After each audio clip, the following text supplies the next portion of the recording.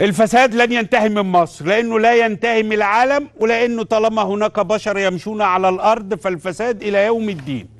تختلف على كده؟ لا ما تختلف شوف كل يوم الرقابة الإدارية عمالة تعمل إيه؟ وعمالة تقبض على مين؟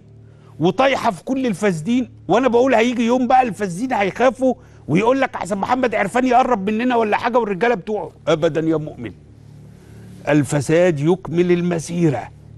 الفساد مصر يعني شوف والدولة عمالة تعلن إنها ده بتقبض على وزير وعلى محافظ. الناس ما ابدا. خد اللقطتين دول في الفساد النهارده في مصر. الرقابة الإدارية تضبط رئيس مدينة المنزلة ومسؤول الإدارة الهندسية بالدقهلية لأن هناك شبهات بخصوص بعض الرخص الصادرة من الإدارة الهندسية. مين بقى؟ ده رئيس مدينة بالمناسبة. رئيس مدينة ومركز. حاجة مش قليلة. بس هو فيها راجل بعد المحافظ ولا الوزير؟ خلاص بقى بقى تتوقع حاجة زي كده. الخبر الثاني الخبر الثاني هو بقى يعني عارف